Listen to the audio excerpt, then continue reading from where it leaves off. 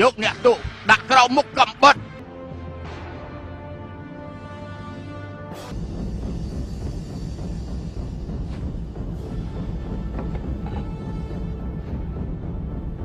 ជួយខ្ញុំផងជួយខ្ញុំផងប្រហាបោក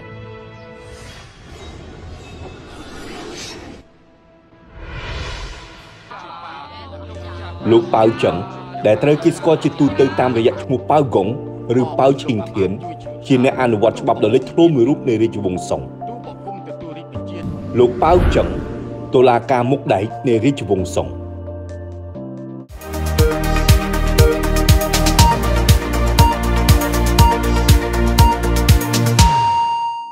ក្នុងអំឡុងពេលបម្រើរាជការសុងរយៈពេល25ឆ្នាំ លោកបានបង្ហាញពីភាពស្មោះត្រង់និងសុចរិតភាពរបស់លោកនៅក្នុងការកាត់ក្តីក្នុងនោះមានការកាត់ក្តីលើឪពុកមាបង្កើតរបស់លោកលើឪពុកមារបស់ស្រីស្នំនៃអធិរាជរិនចុងនិងលើមន្ត្រីមានឥទ្ធិពលជាច្រើនរូបទៀតលោកត្រូវបានតែងតាំងឲ្យគ្រប់គ្រងរាជធានីខៃហ្វឹងចាប់ពីឆ្នាំ1057ដល់ឆ្នាំ1058ក្នុងអំឡុងពេលនោះលោកផ្ដួចផ្ដើមឲ្យមានការផ្លាស់ប្ដូរជាច្រើនដើម្បីឲ្យបានដឹងពីទុកកង្វល់របស់ប្រជារាស្ត្រ ក្នុងអំឡុងពេលកាត់តំណែងលោកទទួលបានងារដែលប្រែជាភាសាខ្មែរថាតុលាការមុខដែកដោយសារតែភាពស្មោះត្រង់និងសមត្ថភាពរបស់លោកក្នុងការជួយប្រជារាស្ត្រនិងលុបបំបាត់អំពើពុករលួយ រហូតដល់ពេលបច្ចុប្បន្នលោកប៉ៅចឹងត្រូវបានគេចាត់ទុកជានិមិត្តរូបយុត្តិធម៌នៅក្នុងសង្គមចិនតើលោកប៉ៅចឹងមានប្រវត្តិយ៉ាងណាសូមអញ្ជើញទស្សនាវីដេអូនេះដូចតទៅលោកប៉ៅចឹងកើតនៅថ្ងៃទី5ខែមីនាឆ្នាំ999 ក្នុងគ្រួសារមានជីវភាពល្អបង្គួរមួយ នៅតំបន់សិនសៀនក្រុងហឺហ្វៃនៃអាណាខេត្តលូស៊ូឪពុករបស់លោកឈ្មោះប៉ៅលីងអ៊ីជាអ្នកសិក្សានិងជាមន្ត្រីរាជការចំណែកជីតារបស់លោកឈ្មោះប៉ៅស៊ីតុងជារាជសាមញ្ញត្បិតតែឪពុកម្ដាយរបស់ប៉ៅចឹងមានលទ្ធភាពរហូតអាចបញ្ជូនកូនឲ្យទៅរៀនយ៉ាងណាក្តីក៏ពួកគេនៅតែមានគំនិតសន្សំសំចៃខ្ពស់ដូចជាសូម្បីតែមុនឆ្លងទន្លេប៉ៅចឹងក៏ម្ដាយរបស់គេ នៅឆ្លៀតឡើងភ្នំរកអុសដើម្បីមកបង្កាត់ភ្លើងដែរដូច្នេះហើយនៅពេលដែលប៉ៅចឹងធំដឹងក្តីគេបានឆ្វេងយល់យ៉ាងច្បាស់អំពីទុកលំបាករបស់ប្រជារាស្ត្ររស់ក្នុងវណ្ណៈទាបព្រមទាំងចាប់ផ្ដើមស្រឡាញ់យុត្តិធម៌ចង់លុបបំបាត់អំពើពុករលួយចាប់តាំងពីពេលនោះមកនៅក្នុងវ័យ29ឆ្នាំលោកប៉ៅចឹងបានប្រឡងជាប់សញ្ញាបត្រជាន់ខ្ពស់មួយនាសម័យនោះហៅថាថ្នាក់ជិនស៊ីនិងបានប្រឡងជាប់ជាមន្ត្រីកាត់ក្តីនៅតំបន់ជៀនចាន ប៉ុន្តែលោកបានពន្យាពេលចូលកាន់តំណែងផ្លូវការអស់រយៈពេលមួយទសវត្សរ៍ដើម្បីមើលថែឪពុកម្ដាយចាស់ជរានិងបានធ្វើការកាន់ទុកយ៉ាងត្រឹមត្រូវក្រោយពេលអ្នកមានគុណរបស់លោកទទួលមរណភាពអំឡុងពេលលោកប៉ៅចឹងមើលថែឪពុកម្ដាយនៅផ្ទះលោកលាវយុនមន្ត្រីកាត់ក្តីខេត្តលូស៊ូដែលជាមន្ត្រីស្រឡាញ់គំនិតយុត្តិធម៌និងពូកែខាងតែងកំណាព្យតែងតែទៅចុះសួរសុខទុក្ខលោកប៉ៅចឹងដោយសារតែអ្នកទាំងពីរមានភាពចុះសម្រុងនឹងគ្នា លោកប៉ៅចឹងរងឥទ្ធិពលយ៉ាងខ្លាំងពីលោកលាវយុនតាក់ទងនឹងការស្រឡាញ់យុត្តិធម៌និងប្រជាជនខ្លាយជាចៅក្រមកាត់ក្តីនៅទៀងចានក្រោយពេលឪពុកម្ដាយទទួលមរណភាពលោកប៉ៅចឹងដែលនៅពេលនោះមានវ័យ39ឆ្នាំត្រូវបានតែងតាំងជាមន្ត្រីកាត់ក្តីនៅតំបន់ទៀងចាងដែលស្ថិតនៅមិនឆ្ងាយប៉ុន្មានពីទីកន្លែងកំណើតរបស់លោកឡើយនៅទីនោះលោកបានចាប់ផ្ដើមសាងកេរ្តិ៍ឈ្មោះជាចៅក្រមដ៏ពូកែនិងឆ្លាតវៃ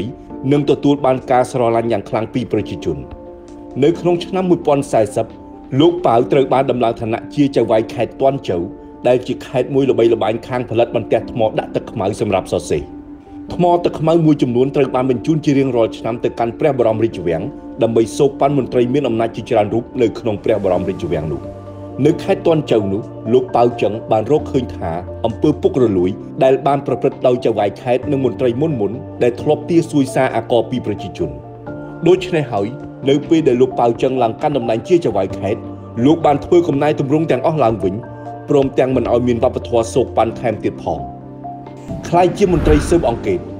ក្រោយចប់អាណត្តិលោកប៉ៅចឹងបានវិលត្រឡប់ទៅកាន់រាជធានីនិងត្រូវបានតែងតាំងជាមន្ត្រីស៊ើបអង្កេតនៅក្នុងឆ្នាំ1044ក្នុងអំឡុងការកាន់តំណែងរយៈពេល2ឆ្នាំ